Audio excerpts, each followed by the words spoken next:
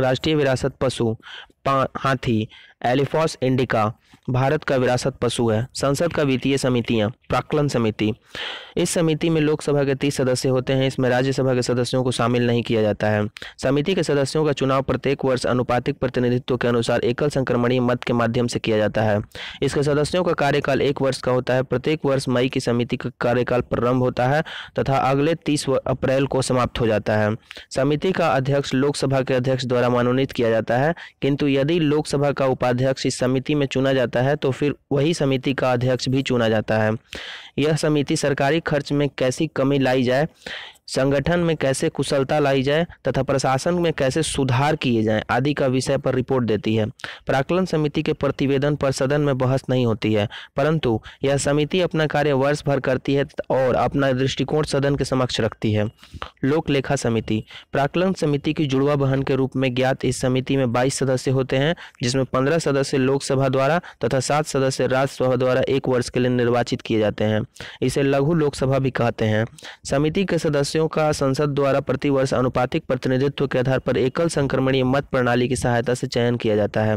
इस समिति का अध्यक्ष का मनोनयन लोकसभा अध्यक्ष के द्वारा ही किया जाता है तथा लोकसभा सचिवालय इस समिति के कार्यालय के भूमिका अदा करती है। उन्नीस सौ सड़सठ में प्रथम बार श्री मीनू मसानी विरोधी दल के नेता बने थे तो उन्हें लोक लेखा समिति का अध्यक्ष भी मनोनीत कर दिया गया था। और उसी समय से विरोधी दल के सदस्यों में से किसी सदस्य को इस समिति का अध्यक्ष मनोनीत करने की परंपरा की शुरुआत हुई। लोक लेखा समिति में राज्यसभा के सदस्यों को सह सदस्य माना जाता है, तथा उन्हें मत देने का अधिकार प्राप्त नहीं है। लोक लेखा समिति का मुख्य कार्य यह समिति भारत के नियंत्रक महालेखा परीक्षक द्वारा दिया गया लेखा परीक्षण संबंधी प्रतिवेदन की जाँच करती है। भारत सरकार के व्यय के लिए सदन द्वारा प्रदान की गई राशियों का विनियोग दर्शाने वाली लेखाओं की जाँच करना। सदन द्वारा प्रदान की गई धनराशि के अतिरिक्त धनराशि को व्यय किया गया हो तो समिति उन परिस्थितियों की जाँच करती है, जिसके कारण अतिरिक्त व्यय करना पड़ा। समिति राष्ट्रीय वित्तीय मामलों के संचालन में अपव्यय, भ्रष्टाचार, अकुशलता में कमी के किसी भी प्रमाण को खोज सकती है। लोक लेखा समिति अपना प्रतिवेदन लोकसभा को देती है, जिससे कि जो अनियमितताएँ उसके ध्यान में आई हैं, उस पर संसद में बहस हो और उन पर प्रभावी कदम उठाए जा सकें। सरकारी उपक्रमों की समिति। कृष्ण मेनन समिति की संतुति पर उन्नीस ईस्वी में सार्वजनिक उपक्रमों पर नियंत्रण के लिए लोकसभा में सार्वजनिक उपक्रम समिति की व्यवस्था की गई। इस समिति में बाईस सदस्य होते हैं, जिनमें से पंद्रह लोकसभा तथा सात राज्यसभा द्वारा अनुपातिक प्रतिनिधित्व की एकल संक्रमणीय मत पद्धति द्वारा निर्वाचित किए जाते हैं। कोई भी मंत्री इस समिति का सदस्य नहीं होता है। प्रत्येक वर्ष मई के प्रारंभ में इस समिति का गठन किया जाता है। समिति के अध्यक्ष, लोकसभा अध्यक्ष द्वारा नामजद किया जाता है। इस समिति का निम्न कार्य है। सरकारी उपक्रमों के प्रतिवेदन और लेखाओं की तथा उन पर नियंत्रक एवं महालेखा परीक्षक के प्रतिवेदनों की जाँच करना। ऐसे विषयों की जाँच करना जो सदन या अध्यक्ष द्वारा निर्दिष्ट किए जाएँ। कुछ अन्य मुख्य समितियाँ। कार्यमंत्रणा समिति। लोकसभा में कार्य मंत्रणा समिति के अध्यक्ष सहित पंद्रह सदस्य होते हैं। लोकसभा का अध्यक्ष इसका पदेन अध्यक्ष होता है। राज्यसभा की कार्य मंत्रणा समिति में इसकी सभा का सभापति, इसका पदेन सभापति होता है। गैर सरकारी सदस्यों के विधकों तथा संकल्प सम्मति सम्मति इसका गठन लोकसभा में किया जाता है। इस समिति में पंद्रह सदस्य होते हैं। लोकसभा का उपाध्यक्ष इस समिति का अध्यक्ष होता है। नियम समिति। लोकसभा के नियम। समिति में लोकसभा अध्यक्ष सहित पंद्रह सदस्य होते हैं, जबकि राज्यसभा के नियम समिति में सभापति एवं उपसभापति सहित सोलह सदस्य होते हैं। लोकसभा अध्यक्ष एवं राज्यसभा के सभापति अपने अपने सदन के समितियों के पदेन अध्यक्ष होते हैं। अनुसूचित जातियों एवं अनुसूचित जनजातियों के कल्याण संबंधी समिति। इसमें तीस सदस्य शामिल किए जाते हैं। इसमें बीस लोकसभा और दस राज्यसभा के सदस्य होते हैं। ग्रंथालय समिति।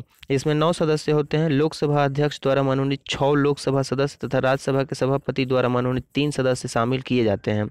इस समिति का गठन प्रत्येक वर्ष किया जाता है। पंचायती राज लॉर्ड रिपन का अठारह सौ बयासी ईस्वी का संकल्प स्थानीय स्वशासन के लिए मैग्ना कार्टा का हैसियत रखता है। रिपन को भारत में स्थानीय स्वशासन का पिता कहा जाता है। पंचायती राज का शुभारंभ स्वतंत्र भारत में 2 अक्टूबर उन्नीस ईस्वी को भारत के प्रथम प्रधानमंत्री जवाहरलाल नेहरू द्वारा राजस्थान राज्य के नागौर ज़िले में किया गया। 11 अक्टूबर उन्नीस सौ उनसठ ईस्वी को पंडित जवाहरलाल नेहरू ने आंध्र प्रदेश राज्य में पंचायती राज का प्रारंभ किया। तिहत्तरवा संविधान संशोधन। तिहत्तरवा संविधान संशोधन पंचायती राज से संबंधित है। इसके द्वारा द्वारा संविधान के भाग नौ, अनुच्छेद 243 क से अड़ तक कुल 16 अनुच्छेद तथा अनुसूची 11 का प्रावधान किया गया है। तिहत्तरवा संविधान संशोधन की मुख्य बातें। इसके द्वारा पंचायती राज के त्रिस्तरीय ढांचे का प्रावधान किया गया है। ग्राम स्तर पर ग्राम पंचायत, प्रखंड स्तर पर पंचायत समिति तथा जिला स्तर पर जिला परिषद के गठन व्यवस्था की गई है। पंचायती राज के प्रत्येक स्तर में एक तिहाई स्थानों पर महिलाओं के लिए आरक्षण की व्यवस्था की गई है। इसका कार्यकाल पाँच वर्ष निर्धारित किया गया है। पंचायत भंग होने पर छः माह के अंदर निर्वाचित होंगे। राज्य की संचित निधि से इन संस्थाओं को अनुदान देने की व्यवस्था की गई है। तिहत्तरवें संविधान संशोधन के बाद पंचायती राज अधिनियम का निर्माण करने वाला प्रथम राज्य कर्नाटक है। चौहत्तरवा संविधान संशोधन। चौहत्तरवा संविधान संशोधन नगर पालिकाओं से संबंधित है। इसके द्वारा संविधान के भाग नौ के क अनुच्छेद 243 त से य, छ तक एवं बारहवीं अनुसूची का प्रावधान किया गया है। नगर पालिकाओं को बारहवीं अनुसूची में वर्णित कुल 18 विषयों पर विधि बनाने की शक्ति प्रदान की गई है। चौहत्तरवा संविधान संशोधन की मुख्य बातें। नगर पालिकाओं में महिलाओं के लिए एक बटा तीन भाग स्थान आरक्षित है। नगर पालिकाओं में अनुसूचित जाति एवं जनजाति के लिए भी आरक्षण की व्यवस्था की गई है। नागरीय संस्थाओं के कार्यकाल पाँच वर्ष का होगा। विघटन की स्थिति में छह माह के अंदर चुनाव कराना है। नगर पालिका के प्रकार। नगर पंचायत। ऐसा ग्रामीण क्षेत्र जो नगर क्षेत्र में परिवर्तित हो रहा हो, नगर परिषद। छोटे नगर क्षेत्र के लिए। नगर निगम, बड़े नगर क्षेत्र के लिए। नोट, नगर निगम की स्थापना सर्वप्रथम मद्रास में सोलह ईस्वी में की गई थी।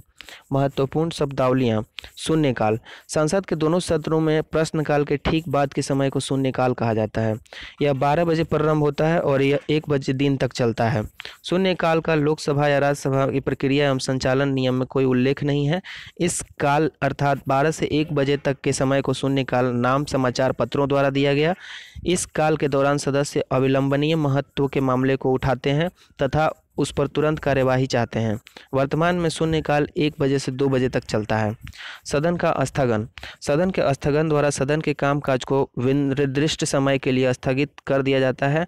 यह कुछ घंटे, दिन या सप्ताह का भी हो सकता है, जबकि सत्रावसान द्वारा सत्र की समाप्ति होती है। विघटन। विघटन केवल लोकसभा का ही हो सकता है, इससे लोकसभा का अंत हो जाता है। अनुपूरक विषय।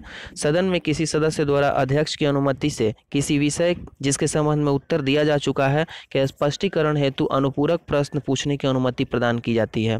तारांकित प्रश्न। जिन प्रश्नों का उत्तर सदस्य तुरंत सदन में चाहता है, उसे तारांकित प्रश्न कहा जाता है। तारांकित प्रश्नों के उत्तर मौखिक दिया जाता है, तथा तारांकित प्रश्नों के अनुपूरक प्रश्न भी पूछे जा सकते हैं। इन प्रश्नों पर तारा लगाना अन्य प्रश्नों से इसका भेद किया जाता है। अतारांकित प्रश्न। जिन प्रश्नों का उत्तर सदस्य लिखित चाहता है, उन्हें अतारांकित प्रश्न कहा जाता है। अतारांकित प्रश्न का उत्तर सदन में नहीं दिया जाता है और इन प्रश्नों के अनुपूरक प्रश्न नहीं पूछे जाते हैं। स्थगन प्रस्ताव। स्थगन प्रस्ताव पेश करने का मुख्य उद्देश्य किसी अविलंबनीय लोक महत्व के मामलों की ओर सदन का ध्यान आकर्षित करना है। जब इस प्रस्ताव को स्वीकार कर लिया जाता है, तब सदन अविलंबनीय लोक महत्व के निश्चित मामले पर चर्चा करने के लिए सदन के नियमित कार्य रोक देता है। इस प्रस्ताव को पेश करने के लिए न्यूनतम 50 सदस्यों की स्वीकृत होना आवश्यक है। अल्प सूचना प्रश्न। जो प्रश्न अविलंबनीय, लोक महत्व का हो तथा जिन्हें साधारण प्रश्न के लिए निर्धारित 10 दिन की अवधि से कम सूचना देकर पूछा जा सकता है, उन्हें अल्प सूचना प्रश्न कहा जाता है। संचित निधि। संविधान के अनुच्छेद दो सौ छियासठ में संचित निधि का प्रावधान है। संचित निधि से धन संसद प्रस्तुत अनुदान मांगों द्वारा ही व्यय किया जाता है। राज्यों को करों एवं शुल्कों में से उसका अंश देने के बाद जो धन बचता है, निधि में डाल दिया जाता है। राष्ट्रपति, उपराष्ट्रपति, नियंत्रक एवं महालेखा परीक्षक आदि का वेतन तथा भत्ते इस निधि से भारित होते हैं। आकस्मिक निधि। संविधान के अनुच्छेद दो सौ सड़सठ के अनुसार भारत सरकार के आकस्मिक निधि की स्थापना करेगी। इसमें जमा राशि का व्यय विधि द्वारा स्थापित प्रक्रिया के अनुसार किया जाता है। संसद की स्वीकृति के बिना इस मत से धन नहीं निकाला जा सकता है। विशेष परिस्थितियों में राष्ट्रपति अग्रिम रूप से इस निधि से धन निकाल सकते हैं। आधे घंटे की चर्चा। जिस प्रश्न का उत्तर सदन में दे दिया गया हो, उन प्रश्नों से उत्तर होने वाले मामलों पर चर्चा लोकसभा में सप्ताह में तीन दिन यथा सोमवार, बुधवार, शुक्रवार को बैठक के अंतिम आधे घंटे में की जा सकती है। राज्यसभा में ऐसी चर्चा किसी दिन जिसे सभापति नियत करे, सामान्यतः पाँच से साढ़े पाँच बजे के बीच की जा सकती है। ऐसी चर्चा का विषय पर्याप्त लोक महत्व का होना चाहिए तथा विषय हाल के ही तारांकित, अतारांकित या अल्प सूचना का प्रश्न रहा हो और जिसके उत्तर के किसी तथ्यात्मक मामले का स्पष्टीकरण आवश्यक हो। ऐसी चर्चा के उठाने की सूचना कम से कम तीन दिन पूर्व दी जानी चाहिए। अल्पकालीन चर्चाएँ। भारत में इस प्रथा की शुरुआत उन्नीस सौ तिरपन ईस्वी के बाद हुई। इसमें लोक महत्व के प्रश्न पर सदन का ध्यान आकर्षित किया जाता है। ऐसी चर्चा के लिए स्पष्ट कारणों सहित सदन के महासचिव की सूचना देना आवश्यक है। इस सूचना पर कम से कम दो अन्य सदस्यों का हस्ताक्षर होना भी आवश्यक है। विनियोग विधेयक। विनियोग विधेयक में भारत के संचित निधि पर भारित व्यय की पूर्ति के लिए अपेक्षित धन तथा सरकार के खर्च हेतु अनुदान की मांग शामिल है। भारत की संचित निधि में से कोई धन विनियोग विधेयक के अधीन ही निकाला जा सकता है। लेखानुदान। जैसा कि विदित है, विनियोग विधेयक के पारित होने के बाद ही भारत की संचित निधि से कोई रकम निकाली जा सकती है, किंतु सरकार को इस विधेयक के पारित होने के पहले भी रुपयों की आवश्यकता हो सकती है। अनुच्छेद 116 के क के अंतर्गत लोकसभा लेखा अनुदान पारित कर सरकार एक अग्रिम राशि मंजूर कर सकती है।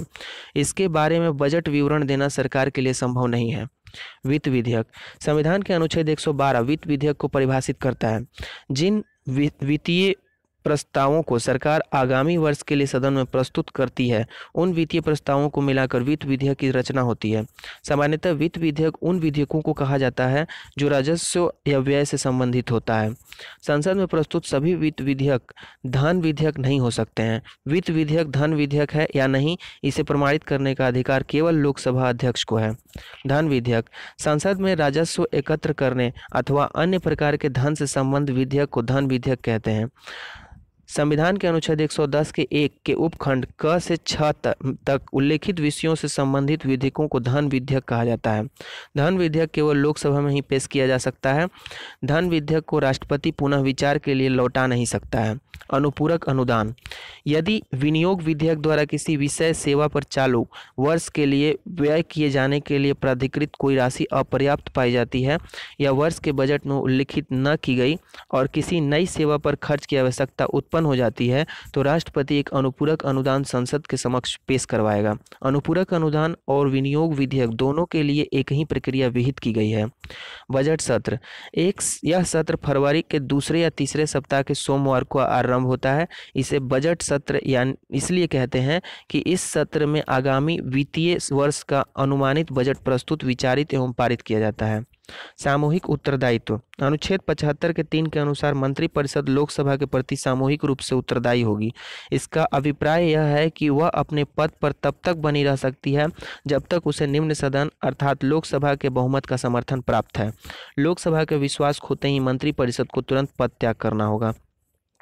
कटौती प्रस्ताव। सत्ता पक्ष द्वारा सदन की स्वीकृति के लिए प्रस्तुत अनुदान की मांगों में से किसी भी प्रकार की कटौती के लिए विपक्ष द्वारा रखे गए प्रस्ताव को कटौती प्रस्ताव कहा जाता है। सरकार की नीतियों के अस्वीकृति को दर्शाने के लिए विपक्ष द्वारा प्राय एक रुपया की कटौती का प्रस्ताव किया जाता है, जिसका अर्थ यह भी होता है कि प्रस्ताव मांग के मुद्दों का स्पष्ट उल्लेख किया जाए। अविश्वास प्रस्ताव। अविश्वास प्रस्ताव सदन में विपक्षी दल के किसी सदस्य द्वारा रखा जाता है।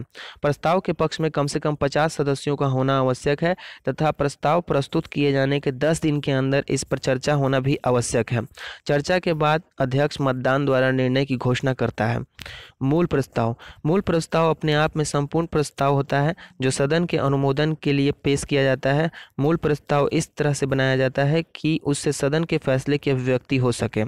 निम्नलिखित प्रस्ताव, मूल प्रस्ताव होते हैं। राष्ट्रपति के अभिभाषण पर धन्यवाद प्रस्ताव, अविश्वास प्रस्ताव। इस प्रस्ताव के माध्यम से सदन में कोई सदस्य मंत्रिपरिषद में अपना अविश्वास व्यक्त करता है और यदि यह प्रस्ताव पारित कर दिया जाता है तो मंत्रिपरिषद को त्याग पत्र देना पड़ता है। लोकसभा के अध्यक्ष, उपाध्यक्ष या राज्यसभा के उपसभापति निर्वाचन के लिए या हटाने के लिए प्रस्ताव। विशेषाधिकार प्रस्ताव। यह प्रस्ताव सदन के किसी सदस्य द्वारा पेश किया जाता है, जब उसे प्रतीत होता है कि मंत्रिपरिषद के किसी सदस्य ने संसद में झूठा तथ्य प्रस्तुत करके संसद के विशेषाधिकार का उल्लंघन किया है। स्थानापन्न प्रस्ताव। जो प्रस्ताव मूल प्रस्ताव के स्थान पर और उसके विकल्प के रूप में पेश किए जाते हैं, उन्हें स्थानापन्न प्रस्ताव कहता है। अनुषंगी प्रस्ताव। इस प्रस्ताव को विभिन्न प्रकार के कार्यों अगली कार्यवाही के लिए नियमित उपाय के रूप में पेश किया जाता है। प्रतिस्थापन प्रस्ताव। या किसी अन्य प्रश्न पर विचार विमर्श के दौरान पेश किया जाता है। कोई सदस्य किसी विधेयक पर विचार करने के प्रस्ताव के संबंध में प्रतिस्थापन प्रस्ताव पेश कर सकता है। संशोधन प्रस्ताव। यह प्रस्ताव मूल प्रस्ताव से संशोधन करने के लिए पेश किया जाता है। अनियमित दिन वाले प्रस्ताव। जिस प्रस्ताव को अध्यक्ष द्वारा स्वीकार या अस्वीकार किया जा सकता है। लेकिन उस प्रस्ताव पर विचार विमर्श के लिए कोई समय नियत नहीं किया जाता, उसे अनियमित दिन वाला प्रस्ताव कहा जाता है। अध्यादेश, राष्ट्रपति अथवा राज्यपाल, संसद अथवा विधानमंडल के सत्रावसान की स्थिति में आवश्यक विषयों से संबंधित अध्यादेश का प्रख्यापन करते हैं। अध्यादेश में निहित विधि संसद अथवा विधानमंडल के अगले सत्र की शुरुआत के छः सप्ताह के बाद प्रवर्तन योग्य नहीं रह जाती है, यदि संसद अथवा विधानमंडल द्वारा उसका अनुमोदन नहीं किया जाता है।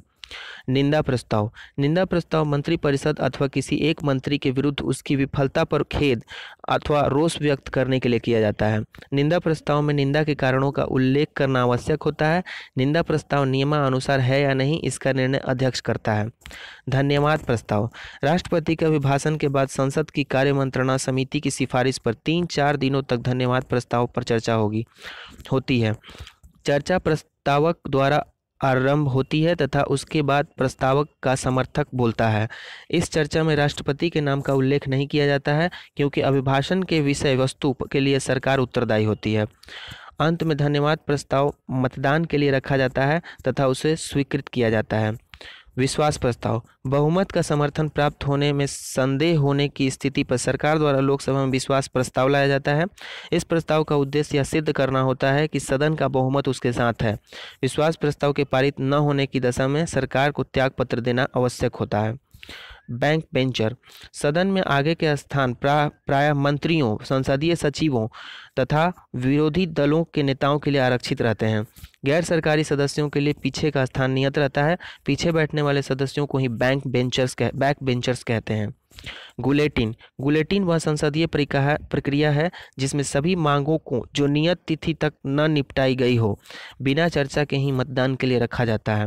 काकस किसी राजनीतिक दल अथवा गुट के प्रमुख सदस्यों की बैठक को काकस कहते हैं। इन प्रमुख सदस्यों द्वारा तय की गई नीतियों से ही पूरा दल संचालित होता है। त्रिशंकु सदस्य, संसद। आम चुनाव में किसी राजनीतिक दल को स्पष्ट बहुमत न मिलने की स्थिति में त्रिशंकु संसद की रचना होती है। त्रिशंकु संसद की स्थिति में दल बदल जैसी कुप्रवृत्तियों को प्रोत्साहन मिलता है। देश में नौ, नौवीं, दसवीं, ग्यारहवीं एवं बारहवीं लोकसभा की यही स्थिति रही है। नियम एक सौ तिरानवे। इस नियम के अंतर्गत सदस्य आवश्यक, अत्यावश्यक एवं अविलंबनीय विषय पर तुरंत अकाल्पनिक चर्चा, अकाल, अल्पकालिक चर्चा की मांग कर सकते हैं। यह नियम उन्नीस सौ तिरपन ईस्वी में बनाया गया। इसमें संसद के नियमावली में अविलंब चर्चा के लिए स्थगन प्रस्ताव के अतिरिक्त अन्य कोई साधन सदस्यों के पास न था, इसीलिए यह नियम बनाया गया। इसके अंतर्गत सदस्य किसी भी सार्वजनिक महत्व के अविलंबनीय विषय पर अल्पकालिक चर्चा के लिए नोटिस दे सकते हैं। यह चर्चा किसी प्रस्ताव के माध्यम से नहीं होती है। इस कारण चर्चा के अंत में सदन में मत विभाजन नहीं होता। केवल सभी पक्ष के सदस्यों को संबंध विषय पर अपने विचार प्रकट करने का अवसर मिलता है। न्यायिक पुनरावलोकन। भारत में न्यायिक, न्यायपालिका को न्यायिक पुनरावलोकन की शक्ति प्राप्त है। न्यायिक पुनरावलोकन के अनुसार, न्यायालयों को यह अधिकार प्राप्त है यदि विधानमंडल द्वारा पारित की गई विधियाँ अथवा कार्यपालिका द्वारा दिए गए आदेश संविधान के प्रतिकूल हैं तो वे उन्हें निरस्त घोषित कर सकते हैं। गणपूर्ति सदन में किसी बैठक के लिए गणपूर्ति अध्यक्ष सहित कुल सदस्य संख्या का दसवां भाग होती है। बैठक शुरू होने के पूर्व यदि गण पूर्ति नहीं होती है तो गण पूर्ति घंटा बजाई जाती है। अध्यक्ष तभी पीठासीन होता है जब गण पूर्ति हो जाती है। प्रश्नकाल दोनों सदनों में प्रत्येक बैठक के प्रारंभ के एक घंटे तक प्रश्न किए जाते हैं। उनके उत्तर दिए जाते हैं। इसे प्रश्नकाल कहा जाता है। प्रश्नकाल के दौरान सदस्यों को सरकार के कार्यों पर आलोचना, प्रत्यालोचन का समय मिलता है। इसके दो लाभ हैं। एक तो सरकार जनता की कठिनाइयों, अपेक्षाओं के प्रति सजग रहती है। दूसरे, इस दौरान सरकार अपनी नीतियों एवं कार्यक्रमों की जानकारी सदन को देती है। दबाव समूह। व्यक्तियों के ऐसे समूह जिनके हित समान होते हैं, दबाव समूह कहे जाते हैं। ये ग्रुप अपने हित के लिए शासन तंत्र पर विभिन्न प्रकार के दबाव बनाते हैं। पंगु सत्र। एक विधानमंडल के कार्यकाल की समाप्ति तथा दूसरे विधानमंडल के कार्यकाल की शुरुआत के बीच के काल को संपन्न होने वाले सत्र को पंगु सत्र कहा जाता है। यह व्यवस्था केवल अमेरिका में है। सचेतक राजनीतिक दल में अनुशासन बनाए रखने के लिए सचेतक की नियुक्ति प्रत्येक संसदीय दल द्वारा की जाती है। किसी विषय विशेष पर मतदान होने की स्थिति में सचेतक अपने दल के सदस्यों को मतदान विषयक निर्देश देता है। सचेतक के निर्देशों के विरुद्ध मतदान करने वाले सदस्य के विरुद्ध दल बदल निरोधक कानून के अंतर्गत कार्यवाही की जाती है।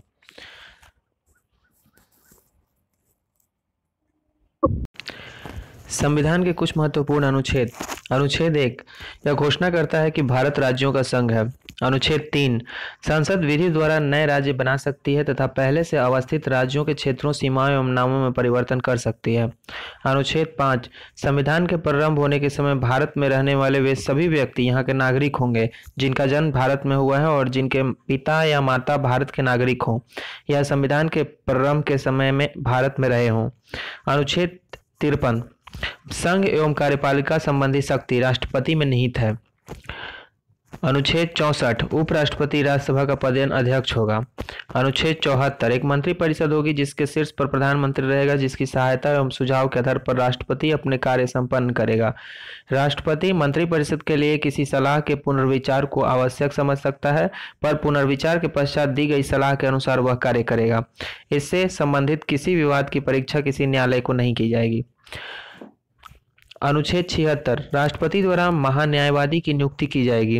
अनुच्छेद अठहत्तर, प्रधानमंत्री का यह कर्तव्य होगा कि वह देश के प्रशासनिक एवं विधायी मामलों तथा मंत्रिपरिषद के निर्णयों के संबंध में राष्ट्रपति को सूचना दे, यदि राष्ट्रपति इस प्रकार की सूचना प्राप्त करना आवश्यक समझे। अनुच्छेद छियासी, इसके अंतर्गत राष्ट्रपति द्वारा संसद को संबोधित करने या संदेश भेजने के अधिकार का उल्लेख है।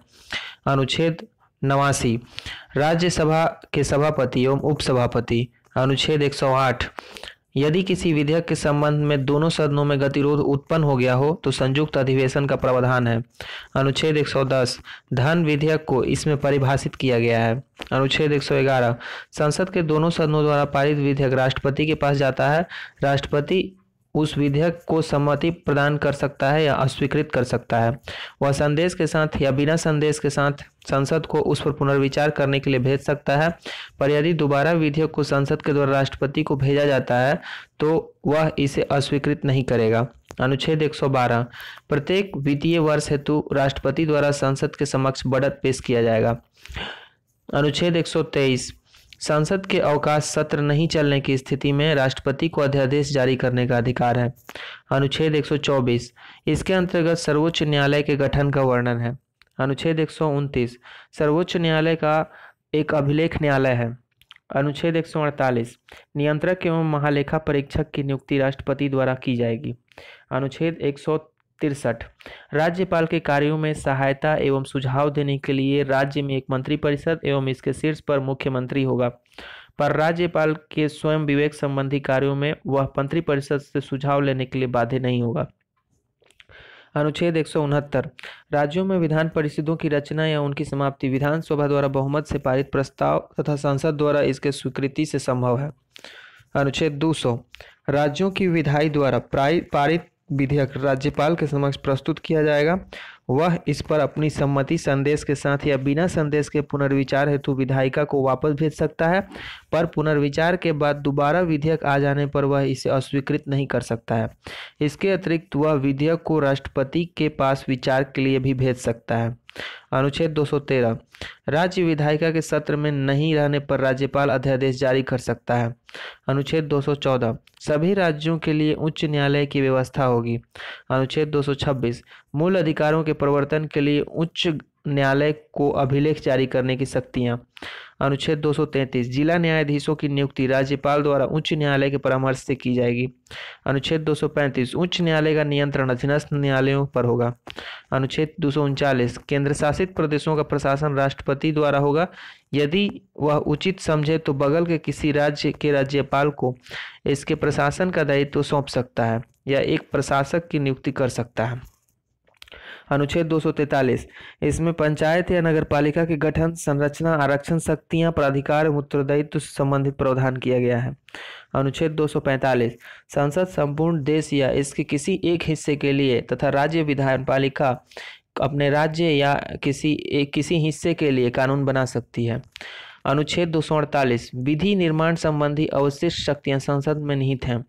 अनुच्छेद दो राज्यसभा विशेष बहुमत द्वारा राज्य सूची के किसी विषय पर लोकसभा को एक वर्ष के लिए कानून बनाने के लिए अधिकृत कर सकती है। यदि वह इसे राष्ट्रहित के लिए आवश्यक समझे। अनुच्छेद दो अंतरराज्यीय नदियों या नदी घाटियों के जल के वितरण एवं नियंत्रण से संबंधित विवादों के लिए संसद विधि द्वारा निर्णय कर सकती है। अनुच्छेद दो केंद्र राज्य संबंधों में विवाद का समाधान करने पर परस्पर सहयोग के क्षेत्रों के विकास का उद्देश्य से राष्ट्रपति एक अंतरराज्यीय परिषद की स्थापना कर सकता है। अनुच्छेद दो सौ छियासठ, भारत की संचित निधि, जिसमें भारत के सर, भारत सरकार की सभी मौद्रिक अवशिष्टियाँ एकत्रित रहेंगी विधि सम्मत प्रक्रिया के बिना इससे कोई भी राशि नहीं निकाली जा सकती है। अनुच्छेद दो सौ सड़सठ, संसद विधि द्वारा एक आकस्मिक निधि स्थापित कर सकती है, जिसमें अकस्मात उत्पन्न परिस्थितियों के लिए राशि एकत्र की जाएगी। अनुच्छेद 275 केंद्र द्वारा राज्यों को सहायक अनुदान दिए जाने का प्रावधान है।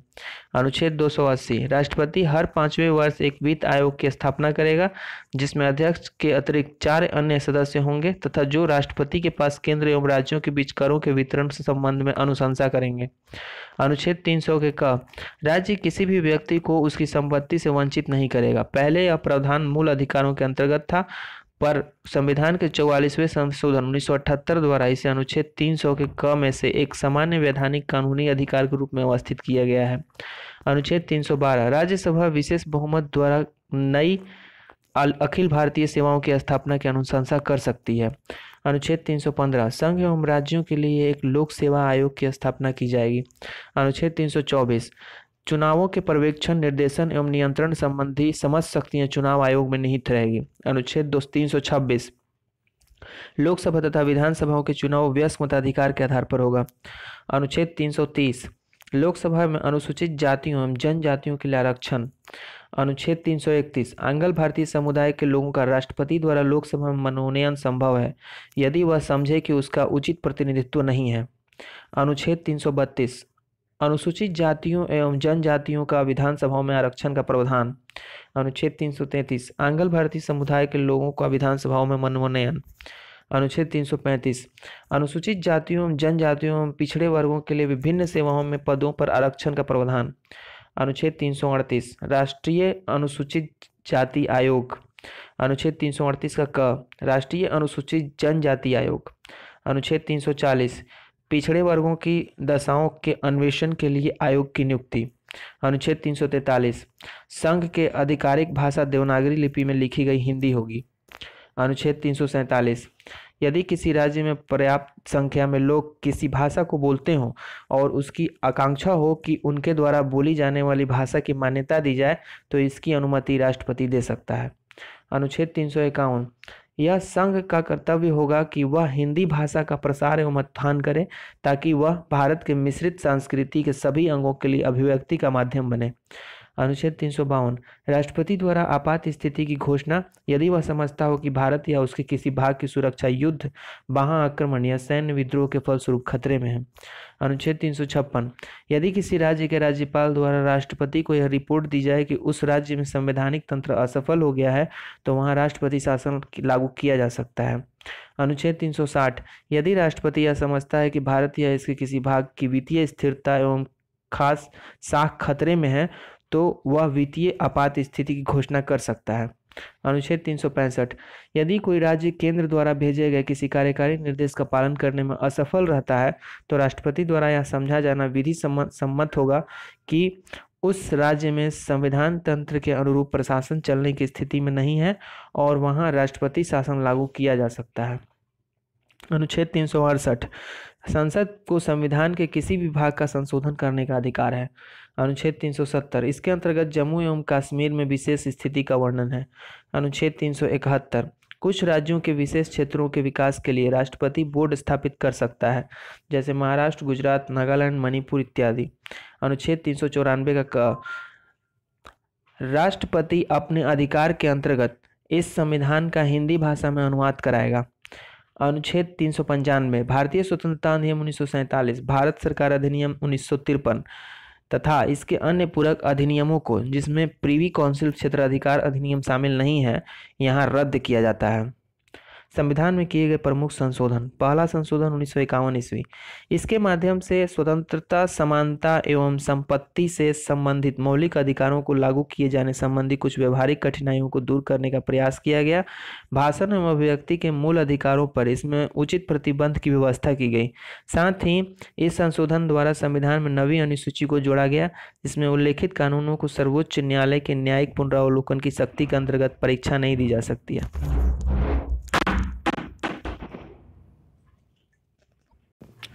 दूसरा संशोधन, उन्नीस सौ बावन ईस्वी।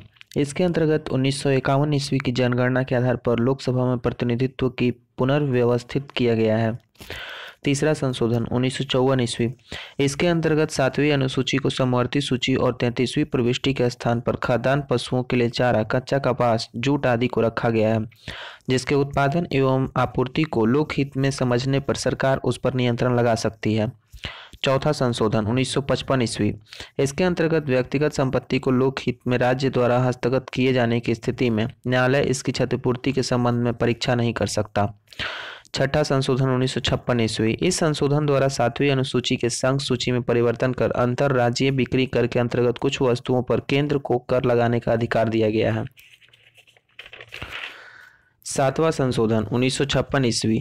इस संशोधन द्वारा भाषाई आधार पर राज्यों का पुनर्गठन किया गया है, जिसमें पहले के तीन श्रेणियों में राज्यों के वर्गीकरण को समाप्त करते हुए राज्यों एवं केंद्र शासित प्रदेशों में उन्हें विभाजित किया गया है।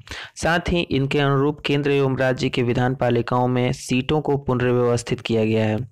आठवां संशोधन, उन्नीस ईस्वी। इसके अंतर्गत केंद्र एवं राज्यों के निम्न सदनों में अनुसूचित जाति, अनुसूचित जनजाति एवं आंगल भारतीय समुदायों के आरक्षण संबंधी प्रावधानों को 10 वर्षों के लिए अर्थात 1970 ईस्वी तक बढ़ा दिया गया है। नौवा संशोधन 1960 ईस्वी। इसके अंतर्गत संविधान की प्रथम अनुसूची में परिवर्तन करके भारत और पाकिस्तान के बीच उन्नीस की संधि की शर्तों के अनुसार बेरू, बारी, खुलना और क्षेत्र के आदि क्षेत्र पाकिस्तान को दे दिए गए हैं। दसवां संशोधन उन्नीस सौ इकसठ ईस्वी। इसके अंतर्गत भूतपूर्व पुत्रगाली अंत क्षेत्रों दादर एवं नागर हवेली को भारत में शामिल कर उन्हें केंद्र शासित प्रदेश का दर्जा दिया गया है। ग्यारहवा संशोधन उन्नीस सौ इकसठ ईस्वी। इसके अंतर्गत उपराष्ट्रपति के निर्वाचन के प्रावधानों में परिवर्तन कर इस संदर्भ में दोनों सदनों के संयुक्त अधिवेशन को बुलाया गया है। साथ ही यह भी निर्धारित किया गया है कि निर्वाचक मंडल में पद की रिक्तता के आधार पर राष्ट्रपति या उपराष्ट्रपति के निर्वाचन को चुनौती नहीं दी जा सकती। बारहवा संशोधन उन्नीस सौ बासठ ईस्वी। इसके अंतर्गत संविधान की प्रथम अनुसूची में संशोधन कर गोवा दमन दीव और भारत में केंद्र शासित प्रदेश के रूप में शामिल कर लिया गया है। तेरहवा संशोधन उन्नीस ईस्वी। इसके अंतर्गत नागालैंड के संबंध में विशेष प्रावधान अपनाकर उसे एक राज्य का दर्जा दे दिया गया है। चौदहवा संशोधन उन्नीस सौ तिरसठ ईस्वी।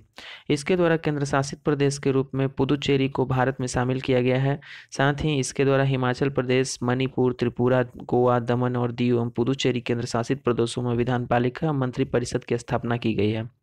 पंद्रहवा संशोधन उन्नीस ईस्वी। इसके अंतर्गत उच्च न्यायालय के न्यायाधीशों की सेवा मुक्ति की आयु साठ से बढ़कर बासठ वर्ष कर दी गई है तथा अवकाश प्राप्त न्यायाधीशों की उच्च न्यायालय में नियुक्ति से संबंधित प्रावधान बनाए गए हैं। सोलहवा संशोधन उन्नीस सौ तिरसठ ईस्वी। इसके द्वारा देश की संप्रभुता एवं अखंडता के हित में मूल अधिकारों पर कुछ प्रतिबंध लगाने के प्रावधान रखे गए हैं। साथ ही तीसरी अनुसूची में भी परिवर्तन कर शपथ ग्रहण के अंतर्गत मैं भारत की स्वतंत्रता एवं अखंडता को बनाए रखूँगा, जोड़ा गया है। सत्रहवा संशोधन उन्नीस सौ चौंसठ ईस्वी। इसमें संपत्ति के अधिकारों में भी संशोधन करते हुए कुछ अन्य भूमि सुधार प्रावधानों को नवी अनुसूची में रखा गया है। इसकी वैधता की परीक्षा सर्वोच्च न्यायालय द्वारा नहीं की जा सकती है। अठारहवा संशोधन उन्नीस सौ छियासठ ईस्वी। इसके अंतर्गत पंजाब का भाषाई आधार पर पुनर्गठन करते हुए पंजाबी भाषा के क्षेत्र को पंजाब एवं हिंदी भाषी क्षेत्र को हरियाणा के रूप में गठित किया गया है। पर्वतीय क्षेत्र हिमाचल प्रदेश को दे दिए गए हैं तथा चंडीगढ़ को केंद्र शासित प्रदेश बनाया गया है। उन्नीसवा संशोधन उन्नीस सौ छियासठ ईस्वी। इसके अंतर्गत चुनाव आयोग के अधिकारों में परिवर्तन किया गया तथा उच्च न्यायालयों के चुनाव याचिकाओं सुनने का अधिकार दिया गया है। बीसवा संशोधन उन्नीस सौ छियासठ ईस्वी। इसके अंतर्गत अनियमितता के आधार पर नियुक्त हुए जिला न्यायाधीशों की नियुक्ति को वैधता प्रदान की गई है। इक्कीसवा संशोधन उन्नीस सौ सड़सठ ईस्वी। इसके द्वारा सिंधी भाषा को संविधान की आठवीं अनुसूची के अंतर्गत पंद्रहवीं भाषा के रूप में शामिल किया गया है। बाईसवा संशोधन उन्नीस सौ उनहत्तर ईस्वी। इसके द्वारा असम में अलग करके एक नया राज्य मेघालय बनाया गया है। तेईसवा संशोधन उन्नीस सौ उनहत्तर ईस्वी। इसके अंतर्गत विधान पालिकाओं में अनुसूचित जाति, अनुसूचित जनजाति के आरक्षण एवं आंगल भारतीय समुदाय के लोगों का मनोनयन और 10 वर्षों के लिए बढ़ा दिया गया है। चौबीसवा संशोधन उन्नीस सौ इकहत्तर ईस्वी। इस संशोधन के अंतर्गत संसद की इस शक्ति को स्पष्ट किया गया है कि वह संविधान के किसी भी भाग को, जिसमें तीन भाग के अंतर्गत आने वाले मूल अधिकार भी हैं, संशोधित कर सकती है। साथ ही यह भी निर्धारित किया गया है कि संशोधन संबंधी विधेयक जब दोनों सदनों में पारित होकर राष्ट्रपति के समक्ष जाएगा तो इस पर राष्ट्रपति द्वारा सम्मति दिया जाना बाध्यकारी होगा। छब्बीसवा संशोधन उन्नीस सौ इकहत्तर ईस्वी। इसके अंतर्गत भूतपूर्व देशी राज्यों के शासकों के विशेष उपाधियों एवं उनके प्रीवी पर्स को समाप्त कर दिया गया है। सत्ताईसवा अधिवेशन संशोधन उन्नीस सौ इकहत्तर ईस्वी। इसके अंतर्गत मिजोरम एवं अरुणाचल प्रदेश को केंद्र शासित प्रदेशों के रूप में स्थापित किया गया है। उनतीसवां संशोधन उन्नीस सौ बहत्तर ईस्वी। इसके अंतर्गत केरल भू सुधार संशोधन अधिनियम उन्नीस सौ उनहत्तर तथा केरल भू सुधार संशोधन अधिनियम उन्नीस सौ इकहत्तर को संविधान की नवी अनुसूची में रख दिया गया है, जिससे इसकी संवैधानिक वैधता को न्यायालय में चुनौती न दी जा सके। इकतीसवां संशोधन उन्नीस सौ तिहत्तर ईस्वी। इसके द्वारा लोकसभा के सदस्यों की संख्या 525 से 545 कर दी गई है और केंद्र शासित प्रदेशों का प्रतिनिधित्व 25 से घटाकर 20 कर दिया गया है। बत्तीसवां संशोधन उन्नीस सौ चौहत्तर ईस्वी। इसके द्वारा संसद एवं विधान पालिकाओं के सदस्यों द्वारा दबाव में या ज़बरदस्ती किए जाने पर इस्तीफा देना अवैध घोषित कर दिया गया है, एवं अध्यक्ष को यह अधिकार दिया गया है कि वह सिर्फ़ स्वेच्छा से दिए गए उचित त्याग पत्र को ही स्वीकार करे। चौंतीसवां संशोधन उन्नीस सौ चौहत्तर ईस्वी। इसके अंतर्गत विभिन्न राज्यों द्वारा पारित बीस भू सुधार अधिनियम को नवी अनुसूची में प्रवेश देते हुए उन्हें न्यायालय द्वारा संवैधानिक वैधता के परीक्षण से मुक्त कर दिया गया है। पैंतीसवां संशोधन उन्नीस सौ चौहत्तर ईस्वी। इसके अंतर्गत सिक्किम का संरक्षित राज्यों का दर्जा समाप्त कर उसे संबद्ध राज्य के रूप में भारत में प्रवेश दिया गया है। छत्तीसवां संशोधन उन्नीस ईस्वी। इसके अंतर्गत सिक्किम को भारत का बाईसवां राज्य बनाया गया है। सैंतीसवां संशोधन उन्नीस सौ ईस्वी। इसके तहत आपात स्थिति की घोषणा और राष्ट्रपति, राज्यपाल एवं केंद्र शासित प्रदेशों के प्रशासनिक प्रधानों द्वारा अध्यादेश जारी किए जाने के अविवादित बताते हुए न्यायिक पुनर्विचार से उन्हें मुक्त रखा गया है। उनतालीसवां संशोधन उन्नीस ईस्वी। इसके द्वारा राष्ट्रपति, उपराष्ट्रपति, प्रधानमंत्री एवं लोकसभा अध्यक्ष के निर्वाचन संबंधी विवादों को न्यायिक परीक्षण से मुक्त कर दिया गया है। इकतालीसवां संशोधन उन्नीस ईस्वी। इसके द्वारा राज्य लोक सेवा आयोग के सदस्यों की सेवा मुक्ति की आयु सीमा 60 से बढ़ाकर बासठ वर्ष कर दी गई है। पर संघ लोक सेवा आयोग के सदस्यों की सेवानिवृत्ति की अधिकतम आयु पैंसठ वर्ष कर दी गई है। बयालीसवां संशोधन उन्नीस सौ छिहत्तर ईस्वी। इसके द्वारा संविधान के व्यापक परिवर्तन लाए गए हैं, जिसमें से मुख्य निम्नलिखित हैं। संविधान की प्रस्तावना में समाजवादी, धर्मनिरपेक्ष, एकता एवं अखंडता आदि शब्द जोड़े गए हैं। सभी निर्देशक तत्वों को मूल अधिकारों पर सर्वोच्चता सुनिश्चित की गई है। इसके अंतर्गत संविधान में दस मौलिक कर्तव्यों को अनुच्छेद इक्यावन के क, भाग चार के क के अंतर्गत जोड़ा गया है। इसके द्वारा संविधान को न्यायिक परीक्षण से मुक्त कर दिया गया है। सभी विधानसभाओं एवं लोकसभा के सीटों की संख्या को इस शताब्दी के अंत तक के लिए स्थिर कर दिया गया है। लोकसभा एवं विधानसभाओं की अवधि को पाँच से छः वर्ष कर दिया गया है। इसके द्वारा यह निर्धारित किया गया है कि किसी केंद्रीय कानून की वैधता पर सर्वोच्च न्यायालय एवं राज्य के कानून की वैधता का उच्च न्यायालय ही परीक्षण करेगा। साथ ही यह भी निर्धारित किया गया है कि किसी संवैधानिक वैधता के प्रश्न पर पाँच से अधिक न्यायाधीशों की बेंच द्वारा दो तिहाई बहुमत से निर्णय दिया जाना चाहिए और यदि न्यायाधीशों की संख्या पाँच तक हो तो निर्णय सर्वसम्मति से होना चाहिए। इसके द्वारा वन संपदा, शिक्षा, जनसंख्या नियंत्रण आदि विषयों को राज्य सूची से समवर्ती सूची के अंतर्गत कर दिया गया। इसके अंतर्गत निर्धारित किया गया कि राष्ट्रपति मंत्रिपरिषद एवं उसके प्रमुख प्रधानमंत्री की सलाह के अनुसार कार्य करेगा। इन, इसने संसद के राष्ट्र विरोधी गतिविधियों से निपटने के लिए कानून बनाने के अधिकार दिए एवं सर्वोच्चता स्थापित की। चौवालीसवां संशोधन उन्नीस सौ अठहत्तर ईस्वी। इसके अंतर्गत राष्ट्रीय आपात स्थिति लागू करने के लिए आंतरिक अशांति के स्थान पर सैन्य विद्रोह के आधार पर रखा गया, आधार रखा गया और आपात स्थिति संबंधी अन्य प्रावधानों में परिवर्तन लाया गया जिससे उनका दुरुपयोग ना हो। इसके द्वारा संपत्ति के अधिकार को मौलिक अधिकारों के भाग से हटाकर विधिक कानूनी अधिकारों की श्रेणी में रख दिया गया। लोकसभा तथा राज्य विधानसभाओं की अवधि। छः वर्ष से घटाकर पुनः पाँच वर्ष कर दी गई।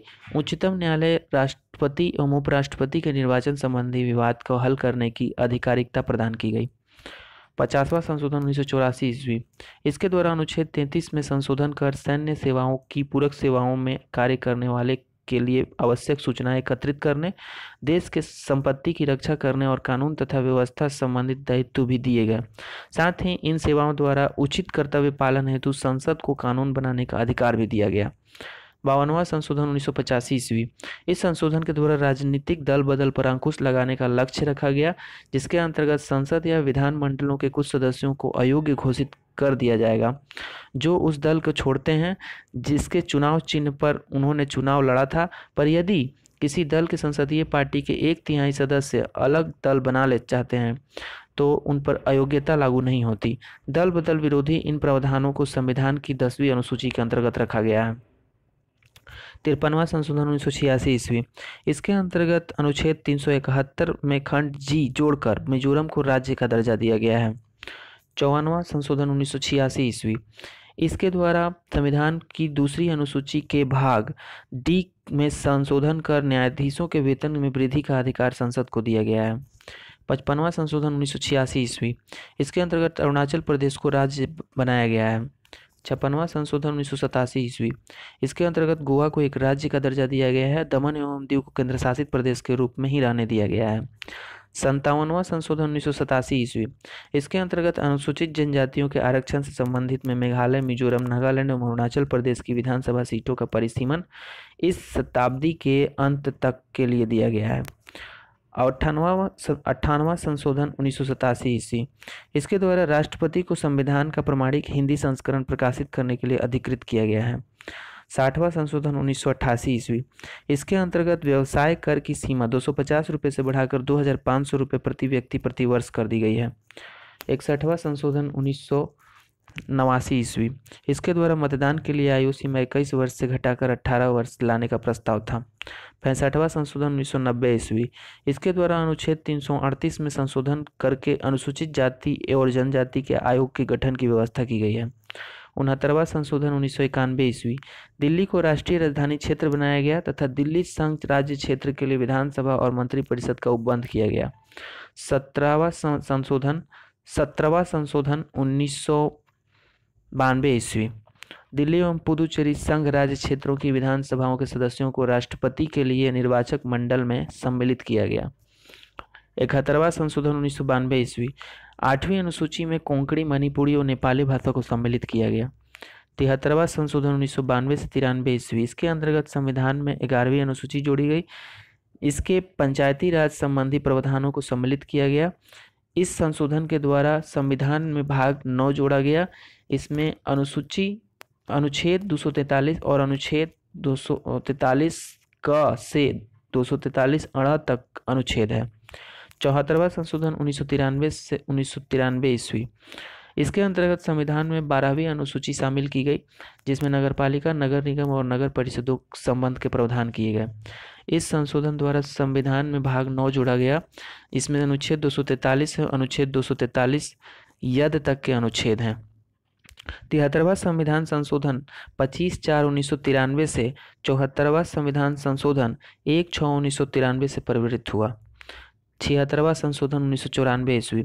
इस संशोधन अधिनियम द्वारा संविधान के नवी अनुसूची में संशोधन किया गया और तमिलनाडु सरकार द्वारा पारित पिछड़े वर्गों के लिए सरकारी नौकरियों में उनहत्तर परसेंट आरक्षण का उपबंध करने वाली अधिनियम को नवी अनुसूची में शामिल कर दिया गया। अठहत्तरवा संशोधन उन्नीस सौ पंचानवे ईस्वी।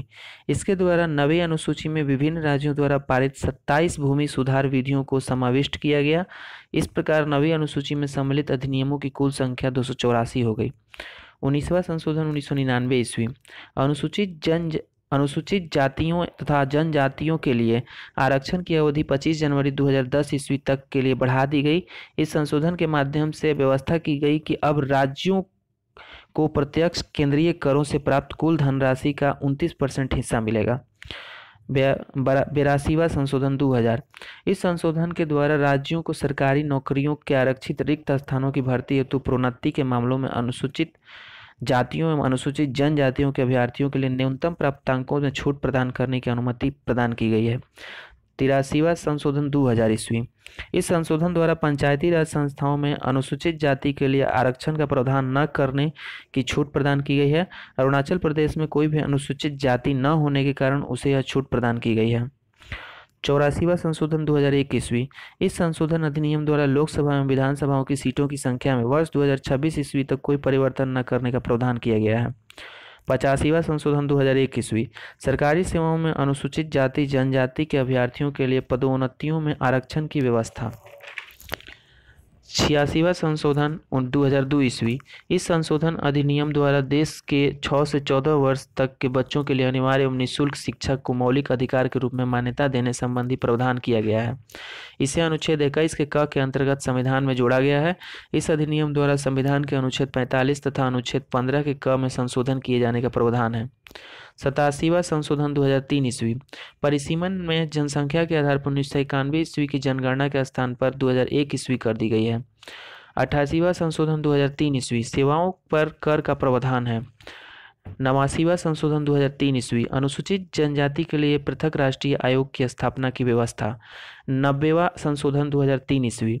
असम विधानसभा में अनुसूचित जातियों और गैर अनुसूचित जनजातियों का प्रतिनिधित्व बरकरार रखते हुए बोडोलैंड टेरिटोरियल काउंसिल क्षेत्र गैर जनजाति के लोगों के अधिकारों की सुरक्षा। इक्यानवे संशोधन 2003 ईस्वी। दल बदल व्यवस्था में संशोधन केवल संपूर्ण दल के विलय को मान्यता, केंद्र तथा राज्य में मंत्री परिषद के सदस्य संख्या क्रमशः लोकसभा में विधानसभा के सदस्य संख्या के पंद्रह परसेंट होगा। जहाँ सदन के सदस्य संख्या चालीस चालीस है, वहाँ अधिकतम बारह होगी। बेरानवेवा संशोधन 2003 ईस्वी।